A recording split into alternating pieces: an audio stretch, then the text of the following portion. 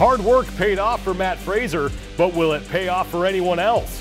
Finland's fittest man is back at 100%, and we're talking rules with Boz. That's coming up next on Game Central.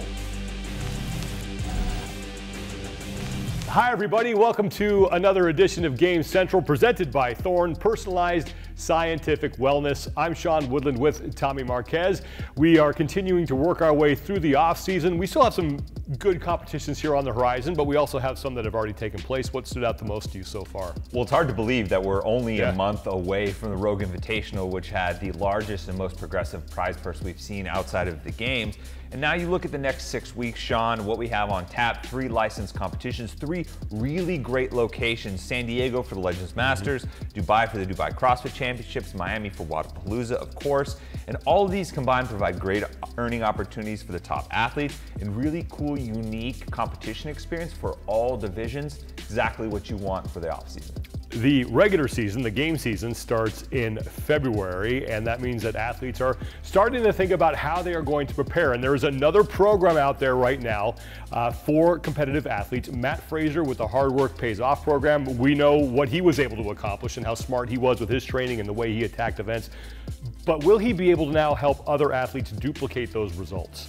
Absolutely. In short, I don't think you win the CrossFit Games five times in a row and not be able to build a legit system and structure in place around competing and developing the physical and mental tools to be a professional at the highest level of this sport. And now that he's retired, it's very clear that he's not letting that passion and that uh, that knowledge go to waste. He's just refocusing it now, putting it into this program. And if I'm an athlete looking to break through, or even a top athlete, I would give a serious look at this program in particular. Talking with athletes like Pat Vellner, who said since Mat's retired, they've been able to glean some information from him. And Pat's a you know a top athlete in this sport already. Plus, you look at the work that he's done with Justin Medeiros, Jayson Hopper. I think there is a lot of value here from the champ. And you mentioned Jayson Hopper, a guy who exploded onto the scene last year with what he did at the MAC, could not duplicate those results uh, at the CrossFit Games.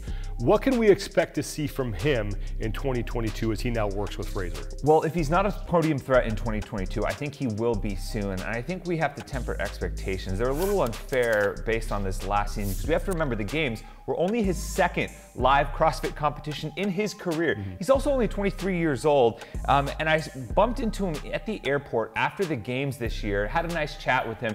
And he talked about how he really underestimated the environment and atmosphere of the games and the effect that it would have in those big, unique, games exclusive type events where you have odd objects, you're outside, you have a big competition field with a large heat.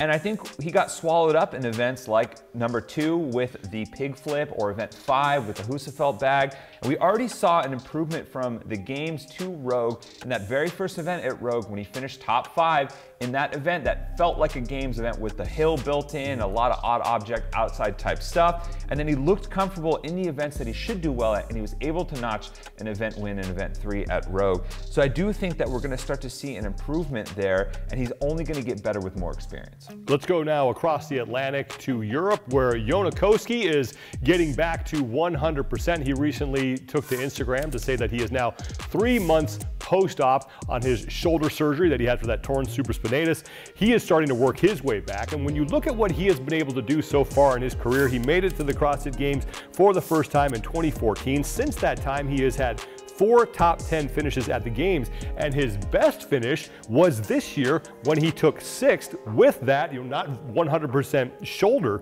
What can we expect to see from him now as he gets back to 100% and looks to work his way back into contention for another top 10 finish at the games? Well, first and foremost, we can expect to see him back at full strength because I consulted with a close person in my life who happens to be a physical therapist, and she said he's right on track to get back to full strength by the time the season gets going, and it should be able to compete uh, in its entirety. But you look at 27 years old, he's been at the uh, top of the sport for nine seasons already, seven appearances at the games, but 2016 withdrawals due to a back injury, 2018 takes the season off due to a knee injury. Now, in this offseason, is recovering from a shoulder injury, so he is a little bit injury prone overall. But at full strength, he will always be a top 10 contender because like our good friend Liam Neeson said, he's got a particular set of skills, particularly swimming, elite level gymnastics, and a top level engine that lends itself to excelling at the games at the highest level. Now remember, this is a career best finish with that shoulder injury that happened before the games, so I can certainly envision a time maybe in the near future where he catches a tailwind, cracks the top five, maybe even sniffs the podium. And here's the stat to remember. Mm -hmm. Another athlete that showed up at the games at 19 who had a lot of years under his belt at this time was Ben Smith. In his eighth season at the games, which Jonne will be going into this season, hopefully, he finished second. So mm -hmm. a mm-hmm. lot of gas left in the tank. Yeah, good to see Jonne back at 100%. And as we get closer to the game season, we are getting closer to the release of the rule book for 2022. That is going to be out soon. And I was able to speak with Director of Competition Adrian Bozman about the 2022 rule book. Boz, thanks so much for doing this. Yeah. Now moving into uh, the things like the equipment list, uh, floor layouts, anything like that. Like I said, the rule book never gets smaller when it comes to that stuff. What kind of things have you uh, added this year to maybe add some more clarification and less wiggle room yeah. for people? Nothing's really changed dramatically on that uh, end. You know, we're still going to do our best to put forward floor plans for each stage of competition so that we can see a uniform performance from the athletes. We're going to give generic uh, equipment recommendations before each stage of competition so you have enough information to know what's expected for you to compete, but not so much that you can figure out what the workouts are specifically. So that way people can prepare and, and get ready to go. Additionally, in the rule book, small uh, thing there is we added the language that we want to make it really clear. When you're competing, it's your workout. You shouldn't be getting outside help to position equipment or to help you along the field of play, anything like that. Once three, two, one, go happens, it's your responsibility to manage that kind of stuff. So we put some lang language in there to clarify that and make sure that there's no question as to who's doing what once the workout starts. Anything else you want to add about the upcoming rulebook that we haven't already addressed? Yeah, there's some interesting details uh, if we look at the season as a whole for athletes that are going to be in the age group divisions. So a few things there. Number one, the very young and the very old divisions. So the 14 and 15 year old division and then anybody in the 55 and above divisions. Those athletes, it's a bit of a strange situation in the open if they want to be part of a team. They can absolutely be a part of the team, but because the workouts that those divisions do are slightly different than the RX uh, individual division, they cannot contribute to the team score. It's just an unfortunate reality for this season. However, you can get on the team roster, you can still make sure that you're a part of that group because if your team qualifies forward to the quarterfinals and the semifinals and, and maybe even to the games, if you're on that roster initially, you're still within the pool of eligible athletes that can compete at those stages. So it's a little bit, you know, unfortunate that you can't contribute directly to that open score, but you can still be a part of that team. And if the team chooses you to represent them moving forward, you're welcome to do so. So that's, that's one big key there for the uh, age groupers. Another kind of interesting thing, if we look at that broad view of the season, is that if you have a really competitive age group athlete, they may end up qualifying in multiple divisions. So for example, if you have somebody in the 40 to 44 year old division, and they're really, really hot stuff. They might be eligible to compete in the individual quarterfinals, the team quarterfinals, and the age group quarterfinals, and they're welcome to do so. They're, those competitions are two weeks apart from each other, so athletes that want to compete in all of those that qualify, they are more than welcome to do so. If that athlete is still in the running for multiple divisions after the quarterfinals, I mean, number one, congrats. That's, that's a pretty awesome feat to be that well-rounded.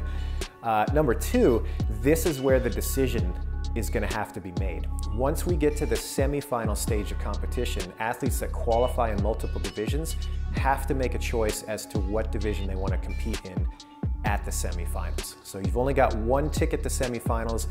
You can only punch that on one of those divisions if you qualify for multiple. So you're going to have to make a hard choice there. So that's, that's kind of where the split lies. So in your mind, the easiest way to simplify, quarterfinals, if I qualify across the board, I can compete across the board. Semifinals, if I qualify in more than one division, I've got to pick one. All right. Well, I hope everyone is listening to this. I hope everyone will read their rule books and understand everything that they need to do in order to avoid avoid any sort of confusion or you know penalties or anything like that. Be safe, everybody. Read your rule books. Know what you're doing going into the Open and beyond. Boz, thanks so much for doing this, man. We really appreciate it. My pleasure, man. Big thanks to Adrian Bozman for taking the time to sit down and do that. We have a lot coming your way. Of course, the Open starts February 24th of 2022. It's right around the corner, so start training for that. The 2018 CrossFit Games documentary is out on December 7th. And then another off-season competition, this time for the Masters. That will start on December 9th. That is the Legends Championship. There will be a live stream for that, so make sure you check out the Legends Championship Instagram page for all the information on that. Tommy will have an inside the leaderboard to get you ready for that competition edition. And then we have an upcoming Game Central with Annie Sakamoto to go over some of the top stories on the women's side going on this offseason. That is going to do it for this edition of Game Central, presented by Thorne Personalized Scientific Wellness. For Tommy Marquez, I'm Sean Woodland. Thanks so much for watching. We'll talk to you next time.